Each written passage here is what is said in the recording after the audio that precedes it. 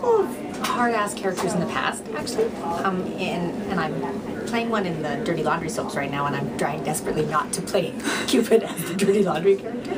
Um, uh, Johanne gave me really good direction, which was just you know like a like a um, elementary school teacher talking to a naughty child, and that's what it is. And the shoes really help. I'm one of those actors. As soon as I have a really good costume, then I can find a character.